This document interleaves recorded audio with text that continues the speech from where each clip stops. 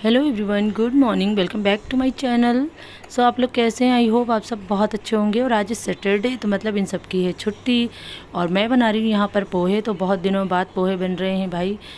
मतलब मैं बहुत दिनों बाद बना रही हूँ दरअसल, क्योंकि कुक आती हैं तो वही बनाती हैं। हम लोगों का बहुत कम नंबर लग पाता है बट आज वो अभी तक नहीं आई हैं तो मैंने कहा क्यों ना मैं आज रसोई में अपना हाथ साफ़ कर लेती हूँ।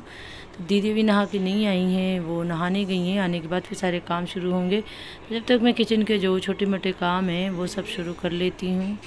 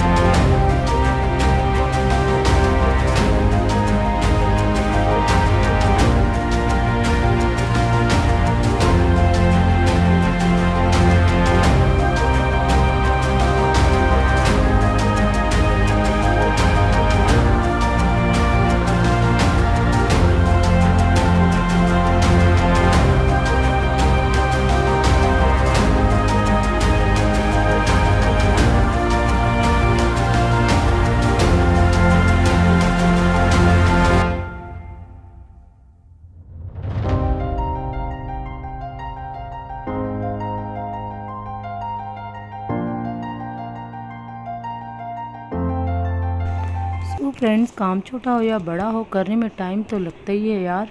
और मैं यहाँ पोहा बना रही थी कि मतलब आधा ही मेरा बन पाया था कि उतने में मालिश वाली आंटी आ गई थी बेटू की मालिश करने के लिए। तो फिर मैंने बीच में ही दीदी को छोड़ दिया। मैंने कहा, दीदी, अब आप देख लेना। दरअसल उन्हें नीचे कुछ काम से जाना था, लेकिन मैंने बोला तो उन्होंने कहा, ठीक है, पहले मैं सर्व कर देती हूँ। मुझे बुला रहे थे? हाँ मैं अभी उसको लेके आ रही हूँ, छोटू बच्चों को अपने, है ना? ठीक है। छोटी चिड़िया। छोटी चिड़िया जैसा दिख रहा है तो है? चिड़िया चिड़िया चिड़िया। नहीं नहीं नहीं नहीं तुम्हें फिर-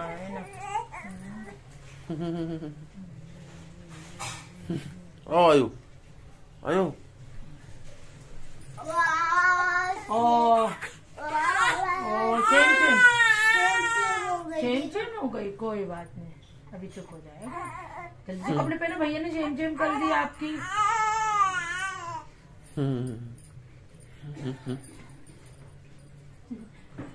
तुमको कोई पोहा नहीं मिलने वाला है। हाँ पंखा चालू कर तो आयु मैं वहीं जाके बैठ रहा हूँ। चलना है मेरे साथ? और कुछ बातचीत करेंगे कॉमेडी वाली। करना है? आओ और मैं यहाँ पर कर रही थी रे, बेटू को रेडी, क्योंकि उसकी मालिश हो चुकी थी, तब तक दीदी ने इन लोगों के लिए पोहा लगा दिया है। तो ये बन गया हमारा पोहा, हो गया तैयार। तो अब चलिए कर लेते हैं नाश्ता।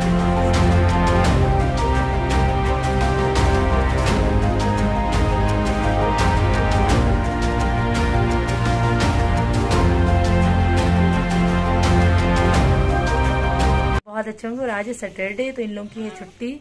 और देखो आई ने आई ने मुझे क्या पहनाया है? ये पहनाया और ये बिंदी। बिंदी भी यही लगा के गया है। और कह रहे थे, देखो, पापा, मेरी माँ कितनी सुंदर लग रही है।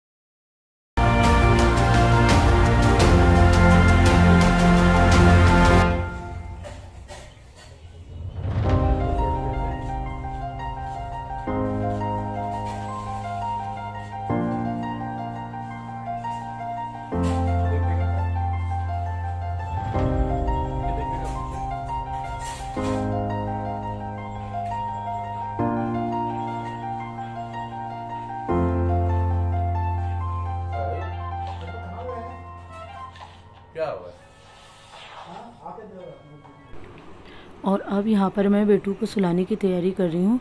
दरअसल कभी कभी तो ये आराम से सो जाता है लेकिन कभी कभी ना इसको घुमा के सुलाना पड़ता है। झूले भी सुलाना पड़ता है। दीदी की आज किटी पार्टी थी तो वो अपनी किटी में गई हैं।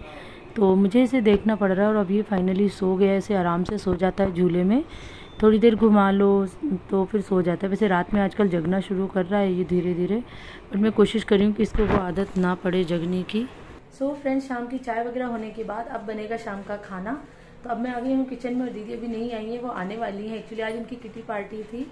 तो अभी, वैसे आने का टाइम तो हो गया उनका, साढ़े छः बजे तक आ जाती हैं बट अभी नहीं आई हैं। और ये दिन में गए थे आयु को लेकर कहीं पर तो आज दिन भर बेटू के साथ रहा, जगना, सोना, यही सब मज़ा रहा। तो शाम को चाय वगैरह होने के बाद अब कर लेते हैं खाने की तैयारी फटाफट।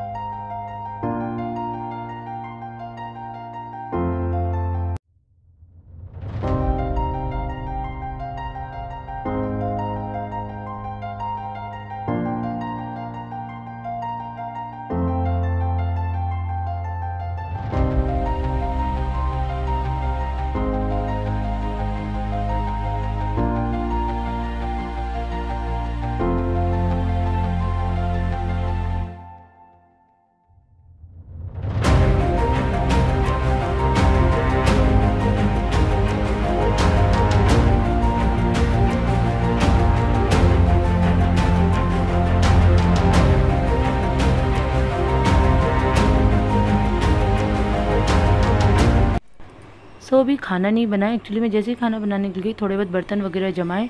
उतने में ये बेटू रोने लगा था तो फिर मैंने इसको ले लिया है। और दीदी भी आ गई हैं किटी से तो अब खाना तो वही बना लेंगी।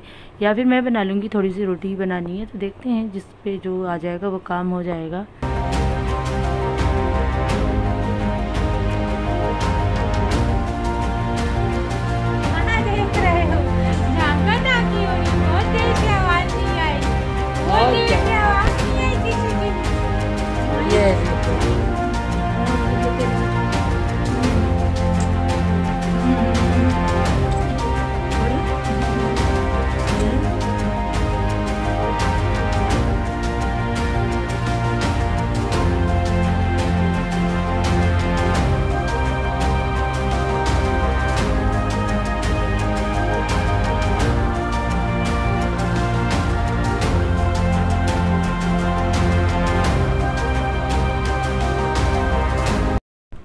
सो so, मैं बना रही हूँ खाना। एक्चुअली रोटी बनानी थी सब्ज़ी तो रखी थी।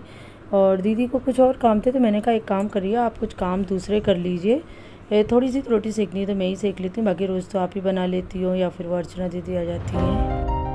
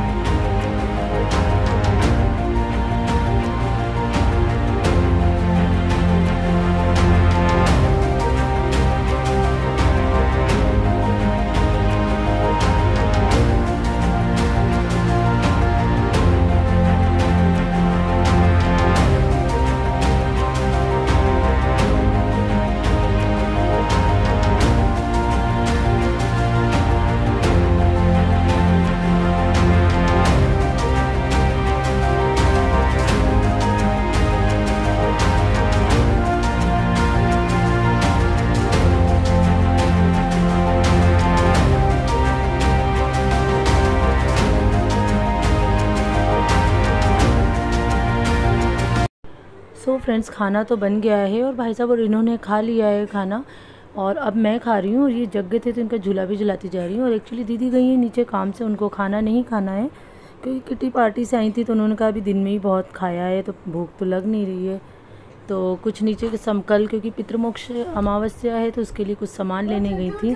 और अब ये हो रही है कल की तैयारी तो मैं अभी रात में छोले भिगा दूँगी, उड़द की दाल भिगा दूँगी और थोड़ी सी मैं मूँग दाल भी भिगाऊँगी। तो इसी के साथ आज की वीडियो को एंड करते हैं। वीडियो पसंद आए तो प्लीज़ लाइक करना शेयर करना। चैनल को सब्सक्राइब करना बिल्कुल मत भूलिएगा यार। तो चलिए मिलते हैं मेरे नेक्स्ट वीडियो में। तब तक लिए bye bye tata take care